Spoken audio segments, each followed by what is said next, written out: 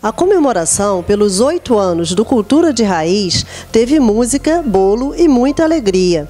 Passaram pelo palco da Casa de Cultura Adolfo Bloch, em Araras, diversos artistas da área urbana e do interior do município. Eu gosto muito, né? Gosto muito, assim, quando passam um dia que não vem, tá doido que chegue o primeiro domingo do mês para a gente poder é, apresentar aí, né? No meu sentido, ajuda, porque os músicos numa dessa aí aparecem. Isso aí é uma vitrine para os músicos de Teresópolis.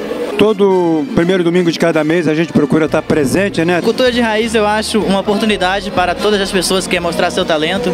Foi bom demais da conta, a gente até viajou em volta de Teresópolis, fazendo a, a, o cultura de raiz, levando para esse povo. E há esses oito anos, cada vez parece que o, os artistas teresopolitanos se evoluíram também, cada vez melhor. E eu vivo feliz. Para mim, isso é um lazer muito grande que eu tenho, é participar. Presente à comemoração, o secretário de Cultura Cultura destacou a política do governo municipal de manter os bons projetos. Bom, Cultura de Raiz é um programa da Secretaria de Cultura que já faz hoje, completa hoje oito anos, né? Então, mas um programa cultural muito importante na cidade, porque a gente consegue resgatar os valores do município, o pessoal que está lá no interior, que produz cultura, que faz música.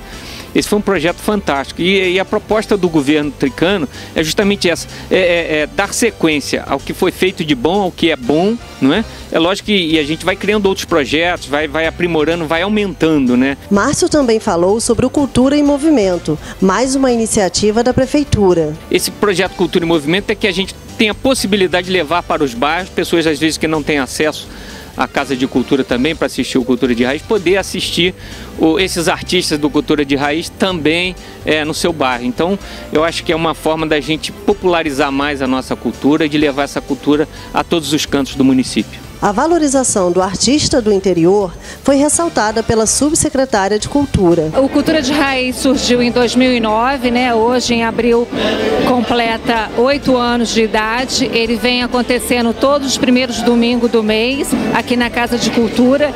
É uma festa para todas as pessoas que curtem essa cultura, que é a cultura de raiz, que valoriza o artista do campo, também o artista da cidade, que gosta de uma música música de cultura popular. Para Antônio Carlos, o Cultura de Raiz é um programa imperdível. Ah, eu acho bom, porque desde quando estou aqui, desde um ano e pouco nós estamos vindo aqui, eu acho legal, a gente vem aqui, se diverte, tudo bem. Atualmente, diretora da Casa de Cultura, Georgia Jaara acompanha o Cultura de Raiz desde o início e fica feliz com o sucesso do projeto. Acompanhei é, de fato todo o projeto desde o início, porque antes eu trabalhava como, como assessora de imprensa da Secretaria de Cultura, então eu vi muito de perto todo o crescimento do projeto.